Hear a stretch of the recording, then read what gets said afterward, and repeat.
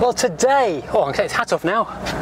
Today, I'm driving a car I've been looking forward to driving since before lockdown. I knew this car was coming weeks ago, but we were waiting for some service items to come for it so we could drive it on the road.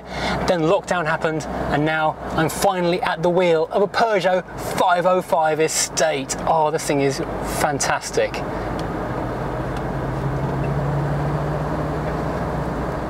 In May 1979, Peugeot replaced their huge and hugely popular 504 with this, the 505, and in October of the same year, they brought it to the right-hand drive market and Britain got to experience it as well. But it wasn't until 1982 that we got to really enjoy the 505 in its greatest form, the Estate. In replacing the 504, the 505 had big shoes to fill. It was a very popular car in the big car sector, but it was a slightly odd competitor because it wasn't quite a competitor for the Granada, the 5 Series, the Senator. But because it was available in such a wide range of specs, it never really nailed itself into the hierarchy of where it sits. You couldn't say it was a direct competitor in terms of snobbiness for a 5 Series, but at the same time, is it less or more working man than a Granada? Granada is obviously the blue collar man made good, made it into the, uh, the boardroom. But what at the 505? Is this just a guy with a big family or is it an independent businessman looking for a big estate? What's the deal with the 505? It's just a car for someone who thinks outside the box in many ways. The 505 did lots of things very well. It's hard to say it does any of them exceptionally, but does enough things well enough to make it a great all-rounder. But one thing that really does strike everyone who sees it, and everyone who remembers it from the 80s, is this front end. Peugeot worked with Pininfarina to style this thing, and this kind of arched eyebrow, this squint, is pure France from the 80s. If these headlights were yellow, it could be the most French thing since garlic on toast with frog's legs and every other cliche you can think of wearing a baguette and riding a bicycle. But to someone who grew up in the 1980s, a squinting French car is the only French car that matters. Anything that's not squinting isn't French in my book. But just look at this grille, these headlights. I never really noticed until today. There's a little chrome trim that sits around the back of the light as well, kind of separates it from the wing a little bit more. And it's got so many little angles as well. The little chrome detailing on the front edges is so crisp. The sharp angles are so Italian. This is a really cool bit of design. And something that did strike me when I noticed this uh, front number plate and the window sticker in the back. Look where this thing came from. Rootes Maidstone. Do you remember I showed you that room where all the cars were handed over in the old Rootes dealership?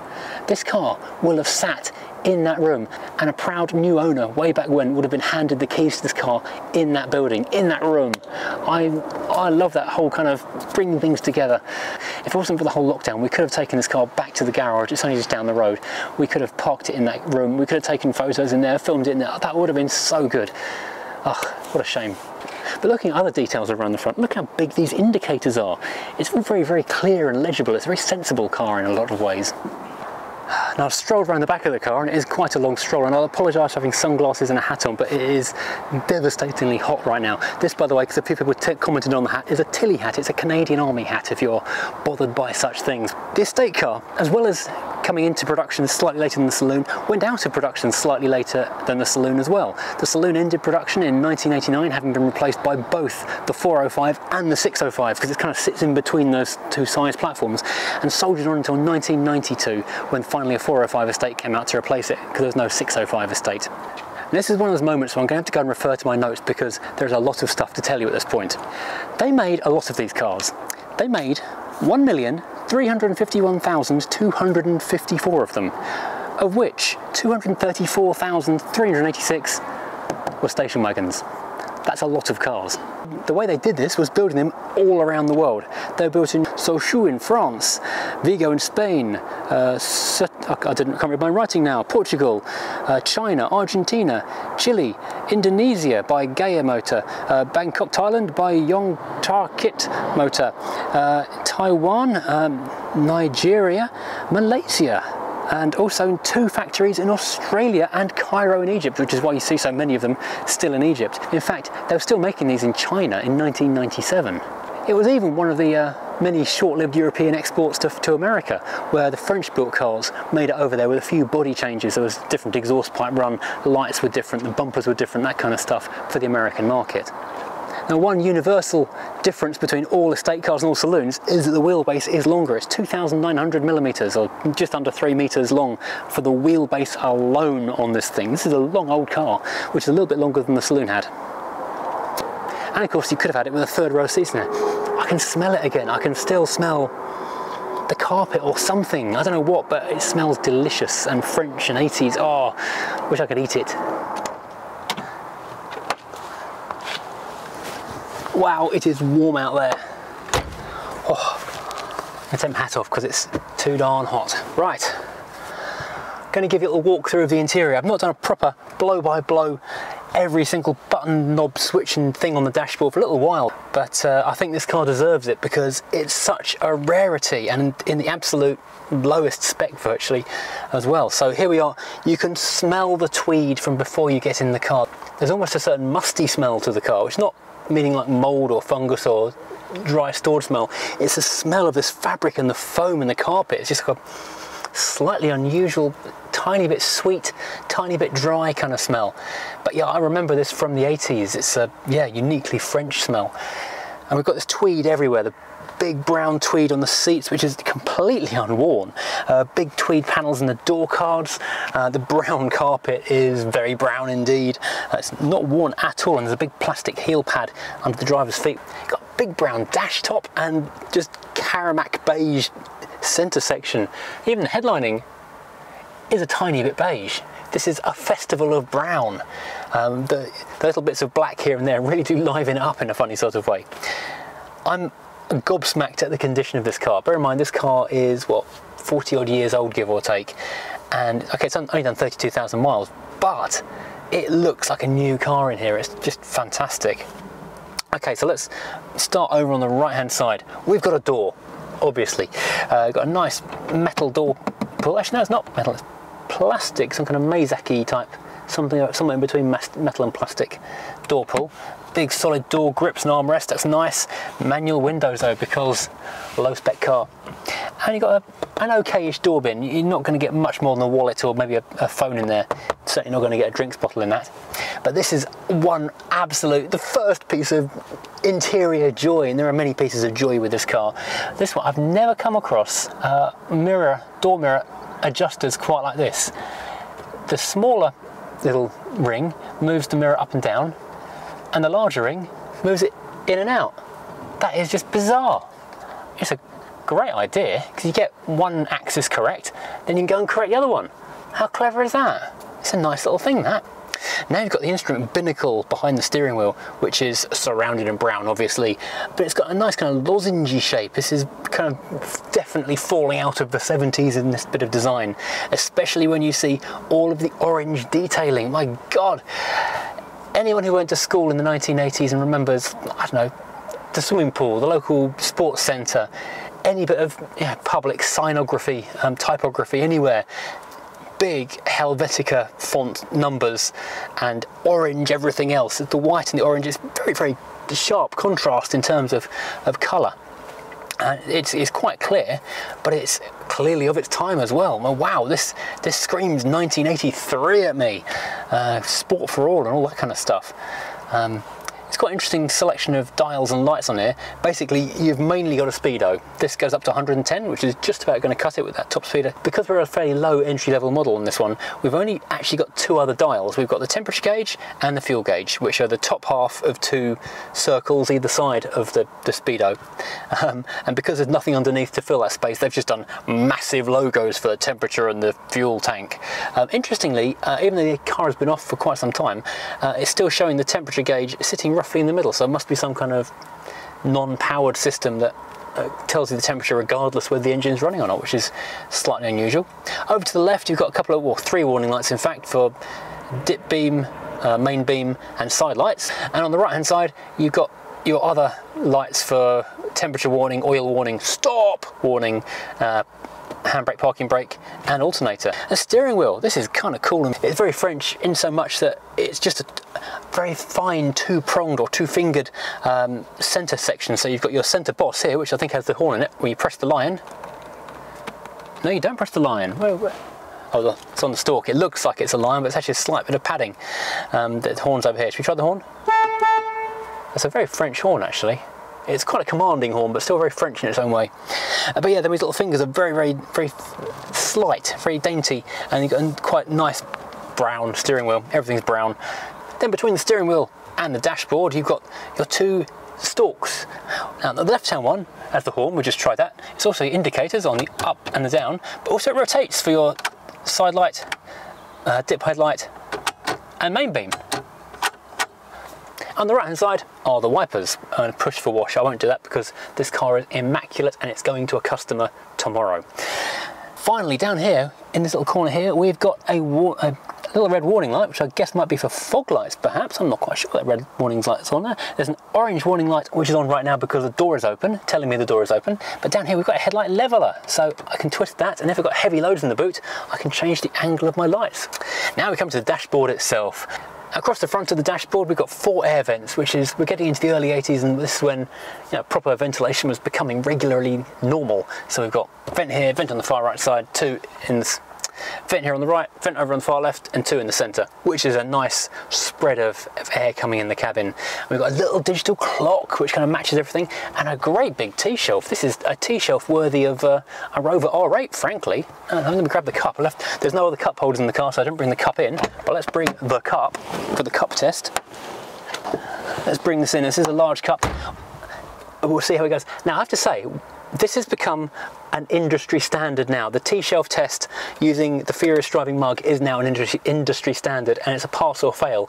And so you can't just make allowances because it's an old car because they're all old cars, aren't they? When I did the acclaim last week, a few people were quick to point out and quite vocal to point out that they didn't have cups this big back in 1983 when that car was made. Someone were vocal enough to go ahead and call me a I'll bleep that out so it's the sharp pointy end of something and rhymes with the word Rick. Which I thought was a bit much, considering more than one person called me that because of a cup. Get a grip. Um, so yes, this is a standard, so it's pass or fail. This car is the same age as that Triumph Acclaim, and let's see what happens. An easy pass. So I think I'm vindicated in saying it has a failure of a T-shelf in the Triumph Acclaim, whereas this is a howling success of a T-shelf. You can get a nine-seat Familiale or an eight-seat Familiale. So uh, yeah, you've got enough room for cups for everyone. I reckon you could get probably three cups along each one of these little major areas and then two in there. So if it's an eight-seater car, you've got eight cups along the front. Success. Stick that. Now, going down below, there are lots of other options which you can have on this car but this one didn't get it because it is a low spec car. You've got fan speed, which goes up to four. You have your ventilation destination, which is windscreen at the top and feet at the bottom and any destination in between. And it appears to have fresh air face ventilation using this switch here, so off and on. So the blue arrow to the face, so maybe these two center um, vents here can just have cold air blowing on you, which is very, on a day like today, would be absolutely lovely. And of course you've got your main temperature control just here. Then the other three buttons we've got on this panel are rear fog, uh, hazard warning lights, and rear screen heater. So presumably we could have had front fogs, um, electric windows perhaps? No, electric windows would be down here in these blanking plugs, wouldn't they? Um, I don't know, else? Um, maybe air conditioning. Could we have air conditioning on this car perhaps? And certainly in the hot countries you might have done. There's a huge blanking plate in the centre which does nothing in this car. So I'd be very curious to know what else we could have had. But I'm going to say air conditioning was a thing. What we have got though is a radio. It's a Philips radio, so may well be original to the car. It's a large metal panel which kind of blanks off that whole area with visible screws, which that's an interesting thing is that cars of the 80s had visible screws. You never see a screw or a fixing on a car anymore. Everything's just so well hidden now. You've got your blanking plates, which I'm going to hazard a guess would be for electric windows. Probably not for heated seats. Maybe heated seats on the absolute top of the range car, but blanking plates here. An automatic gearbox here in the center. Three speed auto. Wow. You're not living the dream with a three speed auto. Um, but for some people, it's the right option. And a car like this, which is, well, let's call it leisurely anyway, this is probably not a bad fit to be fair.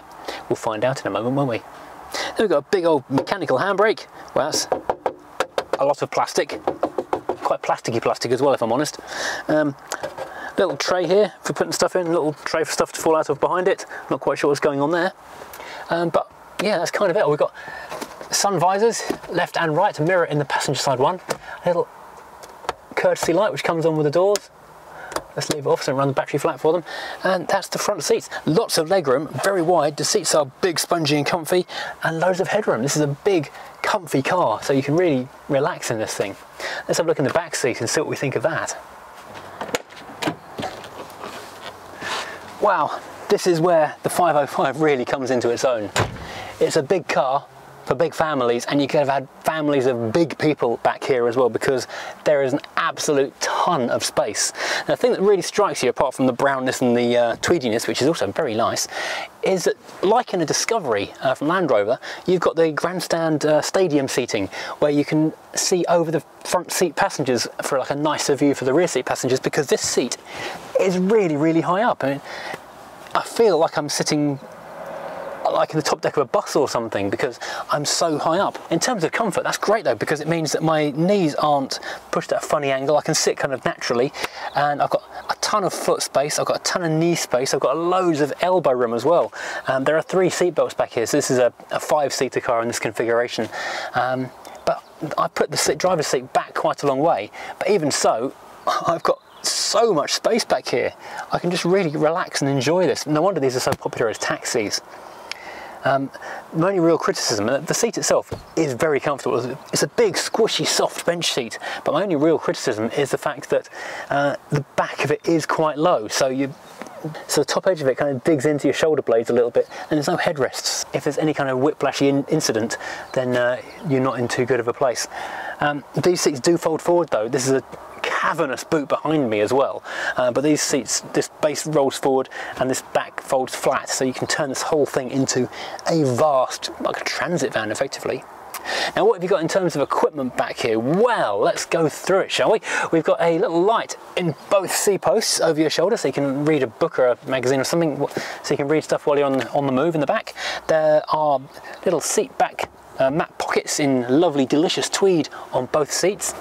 You've got a non-central variety lock and you've got a door handle obviously and a manual window winder because manual windows lovely bit of brown carpet in all, all four door bottoms so you don't kick the door as is a nice bit of uh, sound deadening as well and an ashtray in both doors as well that's kind of it really. In the back of the center console, there is a strange little flat tray area which looks like it should be something, but it's not really anything. And there's a, a big nubbin which looks like it should pull out, but it doesn't. It's just a big plastic nubbin for no reason. But yeah, that's all right. That said, this is a huge comfy back seat in a very big comfy car. Shall we look at the boot now?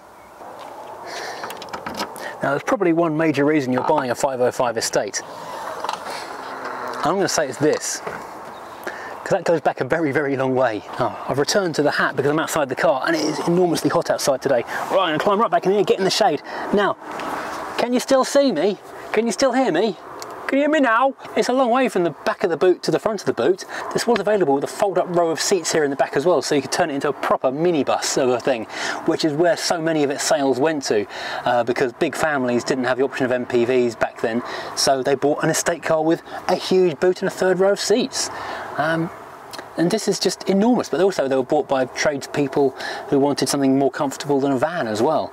Taxi drivers love them. In fact the last time i went in one of these was in egypt about 15 years ago and there were just taxis of these everywhere and still in the early noughties they were just every taxi cab was an estate one of these. I may have the uh, literage written down in a bit of paper somewhere but uh, suffice to say it's bloomin' big. I can't not do a folding rear seat test for you, look. So very simply, the bench just lifts forward on that little tag there, have to move the seats forward for this. Then the seat back falls into this carpeted area here, and you now have a completely flat area all the way to the front seats, which is, well, you could park a car in here, it's massive. It's absolutely ridiculous how big the space is. Now here under the bonnet, it's the same kind of unrestored originality, but because it's the working part of the car, there's a little bit more dust and I say grime isn't really the right word, but it's lived in it, but it's totally original. When look at this plastic is not perfect, but that's just how it's gone over the years.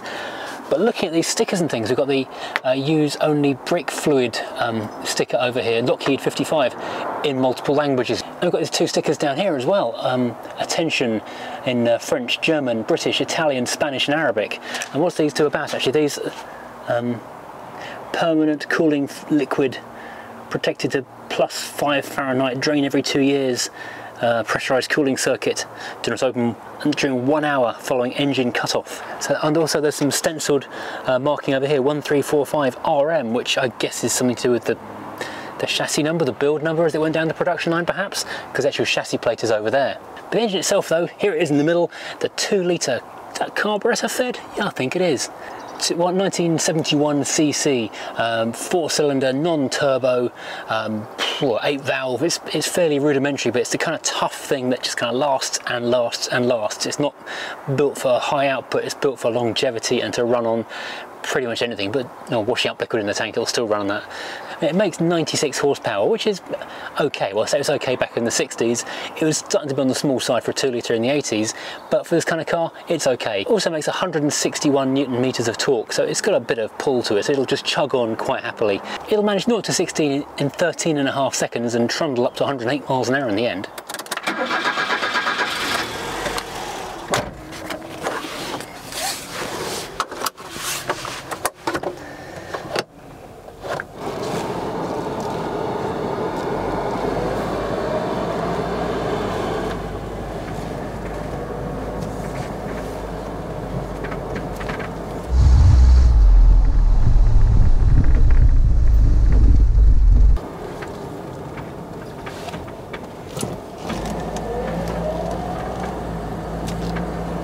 Enjoyed this little ride out. It's a very brief ride out in a car I have to be very careful with because it's going to a customer imminently. So what can I say about Peugeot 505 Estate at the wheel? Well, it's very smooth.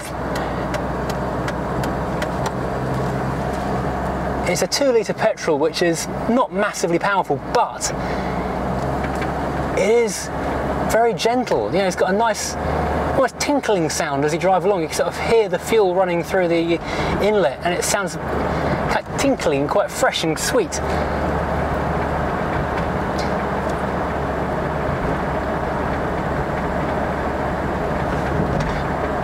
This thing has got independent suspension. This has got independent suspension all round. It's uh, MacPherson struts at the front, trailing arms at the rear, and uh, that does give it a nice ride. You sort of roll through the corners quite happily and it soaks up the bumps so well. Bear in mind, these were massive sellers in a lot of countries, like African countries, for example, where the roads are more or less unmade, and so it was able to sort of just crash down dirt tracks virtually with no hassle whatsoever. It would happily just plough along them, no worries. And one quite cool thing I didn't mention when I was walking around doing the dashboard is that under the picture of the petrol gauge, you've got a little word Econoscope. And as I put my foot down on the hill, it drops into the amber. If I put my foot really hard down, oh, it doesn't go to red. I thought it would. I do like an Econoscope though. It sounds very uh, Gerry Anderson-like.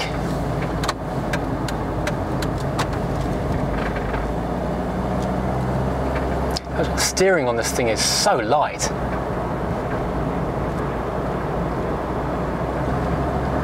Can't give you a brake test right now because there's a BMW sat right behind us. I don't want him to be uh, embedded. There's room for him to come into the boot and join us, but uh, I don't really want him to do that.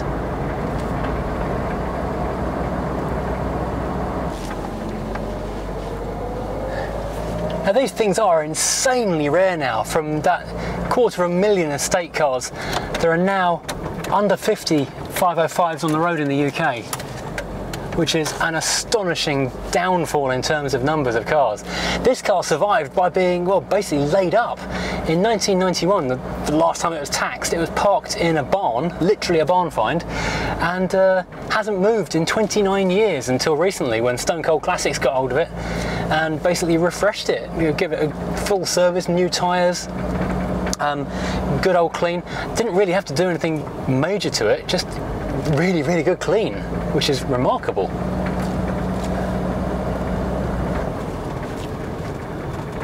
I'll be honest, the carburetor isn't 100% happy yet after its long layup and it's a little bit spluttery at low speeds, but once you're on the move, it seems fairly happy to, to trundle around. The auto box shifts quite happily as well. It's a nice smooth thing.